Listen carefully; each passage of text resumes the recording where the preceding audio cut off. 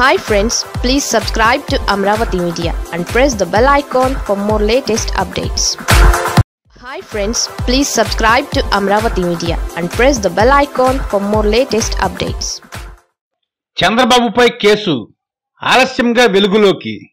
TDP అధినేత మాజీ ముఖ్యమంత్రి చంద్రబాబు నాయుడుపై లోకాయుక్తలో కేసు నమోదైంది. ఈ విషయం మీడియాకు ఎందుకు పట్టలేదో కానీ చంద్రబాబు హయాంలో జరిగిన ప్రజాధనం దుర్వినియోగానికి సంబంధించి గత జులైలో ఓ అడ్వకేట్ ఇచ్చిన ఫిర్యాదు మేరకు చంద్రబాబుపై ఈ కేసు నమోదైంది. ఒక నాయకుడు ముఖ్యమంత్రిగా ఉన్న సమయంలో తీసుకున్న ఓ నిర్ణయం చేసిన ప్రజాధనం దుర్వినియోగంపై ఇప్పుడు లోకాయుక్తలో కేసు నమోదు కావడం ఖచ్చితంగా ఓ వార్తే. అది జాతీయ స్థాయిలో చక్రాలు తిప్పగలిగిన చంద్రబాబుపై కేసు కావడం విశేషమే. ఎందుకో తెలియదు గాని మెయిన్ స్ట్రీమ్ మీడియా దీనిని పట్టించుకోలేదు. రెండు వేల పంతొమ్మిది ఎన్నికలకు ముందు చంద్రబాబు ఏపీ ప్రత్యేక హోదా అంశంపై యూటర్న్ తీసుకున్నాడు.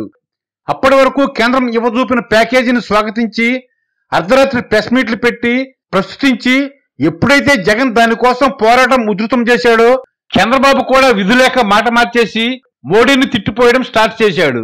మోడీ మళ్ళీ గెలవడు అనే తప్పుడు అంచనాలతో యూపీఏ త్రీ ఇక అధికారంలోకి వచ్చేసినట్లే తాను ఉప ప్రధాని అయిపోయి లోకేష్ను ఇక్కడ సీఎం చేయాలని భావించినట్లున్నాడు. మోడీ వ్యతిరేక పక్షాలన్నింటినీ ఏకం చేయడానికి పూనుకున్నాడు.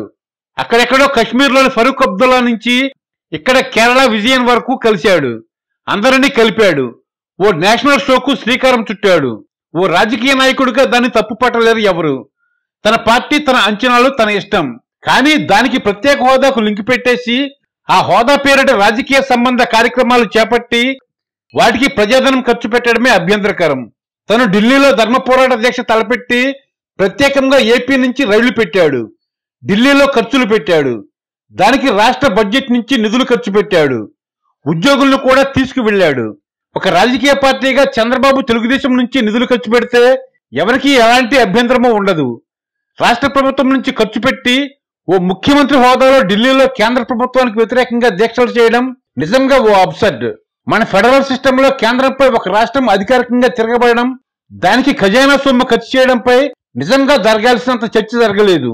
ఈ విషయంలో చంద్రబాబు మీద చర్య తీసుకోవడం మోడీకి కూడా చేత కాలేదు కానీ అది సమసిపోలేదు అడ్వకేట్ ఏవి రమణ గత జులై నాలుగవ తేదీ నాడు చేసిన ఫిర్యాదు మేరకు లోకాయుక్త తాజాగా ఈ నెల ఎనిమిదవ తేదీ నాడు ఓ కేసు నమోదు చేసుకుంది. అక్టోబర్ ఒకటవ తేదీ నాటికి కేసు వాయిదా కూడా వేశారు.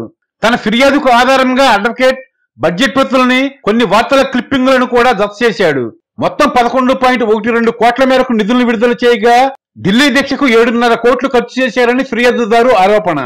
ఈ ఖర్చుపై జరిగిన కొంత రాద్ధాంతం అనంతరం అప్పట్లోని రాష్ట్ర ప్రభుత్వం మొత్తం నిధుల్ని ఢిల్లీ దీక్షకు ఖర్చు పెట్టలేదంటూ ఏదేదో వివరణ ఇచ్చింది. తన రాజకీయ ప్రయోజనాల కోసం ప్రతిపక్ష ఐక్యత నిరూపణ కోసం ఢిల్లీలో ఏదో షో చేస్తే జనం సొమ్ము ఎందుకు ఖర్చు చేయాలి? అదే అసలు ప్రశ్న. రాష్ట్ర ప్రభుత్వం కేంద్ర ప్రభుత్వంపై అధికారికంగా జనం సొమ్ముతో తిరగబడవచ్చా? దాన్ని కేంద్రం అనుమతిస్తుందా? తమ రాజకీయ ప్రయోజనాల కోసం అధికారంలో ఉన్న పార్టీ జనం సొమ్ము దుర్వినియోగం చేయవచ్చా? అది నైతికమా? చట్టబద్ధమా? ఈ ప్రశ్నలకు లోకాయుక్త సహేతుక సమాధానం చెబుతుందని ఆశిద్దాం. పెద్ద పెద్ద కోర్టులు కేసులు విచారణలే చంద్రబాబును ఏమీ చేయలేకపోయాయని తేలికగా తీసిపారేయకండి. ఏమో లోకాయుక్త అలాంటి అభిప్రాయాలను చెరిపేస్తుందేమో చూద్దాం.